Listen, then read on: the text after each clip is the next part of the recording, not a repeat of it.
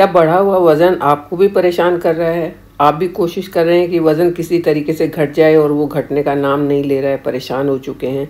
तो आज मैं आपके साथ एक ऐसा जूस की रेसिपी शेयर करने वाली हूँ, जिसको अगर पिया जाता है तो वज़न बहुत जल्दी कंट्रोल में आ जाता है। इसमें कोई फास्टिंग की ज़रूरत नहीं है, कोई डाइटिंग की ज़रूरत नहीं है। बस ये जूस आपने पीना है और वज़न ठीक हो जाएगा। तो hello friends welcome to our channel let's nurture our minds ये जूस बहुत ही ज़्यादा टेस्टी है, इसलिए मैं आपसे रिक्वेस्ट करूँगी कि आप मेरे वीडियो को लाइक करें। अगर आप चैनल पर नए हैं तो इसे सब्सक्राइब करें और बेल आइकन ज़रूर दबाएँ ताकि नोटिफिकेशंस आपके पास पहुंचनी शुरू हो जाएँ।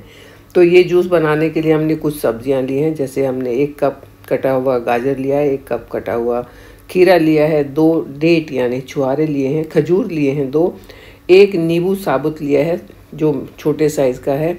थोड़ी सी हमने काली मिर्च ली है और थोड़ा सा हमने लिया है सिनेमन पाउडर इसके साथ हम मिंट लीव्स भी लेंगे। कोई चीज़ हमने कुक नहीं की है, सब चीज़ें रॉ हैं, कच्ची हैं और उसको काट के हमने बारीक टुकड़े किए, अच्छे से धोने के बाद काट लिया और टुकड़े कर लिए। अब एक ब्लेंडर में डाल के इनको ब्लेंड करेंगे। पहले हम थोड़ा पानी डाल के इसको ब्लेंड करना शुरू करेंगे।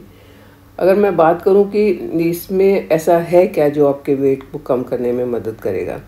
तो ये एक बहुत ही लो कैलोरी जूस बन के तैयार हो जाएगा। जिसमें कैलोरी तो कम है, लेकिन न्यूट्रिशन बहुत ज़्यादा है। इसमें बहुत सारे न्यूट्रिएंट्स हैं, जैसे माइक्रो न्यूट्रिएंट्स इसमें हैं, बहुत सारे मिनरल्स हैं, बहुत सारे विटामिन हैं। तो हमने जब हाफ़ ब्लेंड उसको कर लिया है, उसके बाद इस तरीके से छील के और काट के नींबू भी उसी में डाल देंगे। जूस नहीं डालना है, नींबू डालना है पूरा। लेकिन हाँ नींबू के बीज ज़रूर निकाल देना अदरवाइज़ आपका जूस थोड़ा कड़वा हो जाएगा। तो काट के बीज निकाल देंगे। और नींबू इसमें डाल देंगे। साथ में हम जो दो डेट्स हैं, उनकी गुठली निकाल के वो भी डालेंगे। जो हमने मिंट लिया है, उसको भी हम डाल देंगे काट के और एक बार फिर से ब्लेंड करेंगे।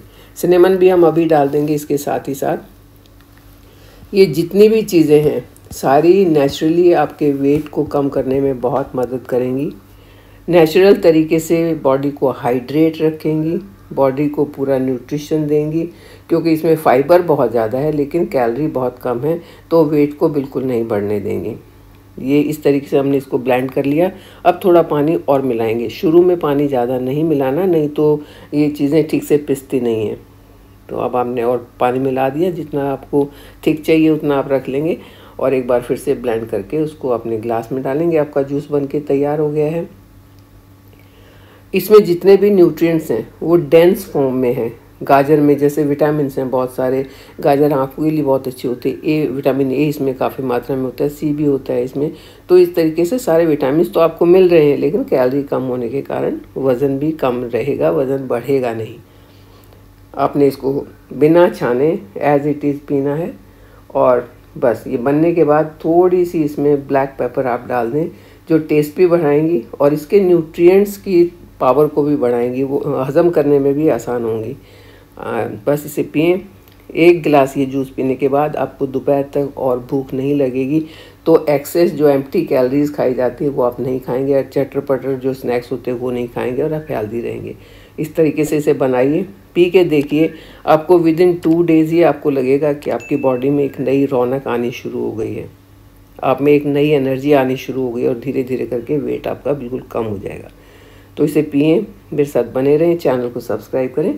Thank you.